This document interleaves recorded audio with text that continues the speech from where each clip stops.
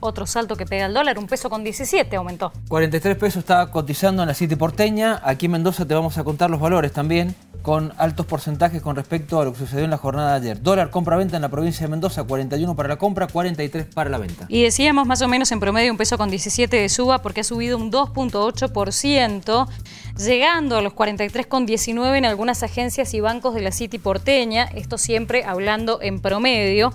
Sucede en consonancia con el mercado único y libre de cambios, donde la divisa trepa un 2.8 a 42 pesos con 20. En Brasil, porque el salto también ha sido ha avanzado un 2.4% frente al real. Y el dólar, la moneda verde, no se detiene en los bancos y en la City porteña y no parece reaccionar a la suba de tasas del Banco Central, que ya supera al 66%. El dólar mayorista abrió la jornada a 41,02 y rápidamente comenzó a subir. Pasada las 10.45 de la mañana quebró el techo de los 42 y se vende a 42,13 pasando a 43 en algunos lugares de la República Argentina. Y en este marco tenemos que decir que el Banco Central hizo la primera subasta de letras de liquidez a siete días de plazo por un monto de 75.868 millones a una tasa promedio de corte del 66.08.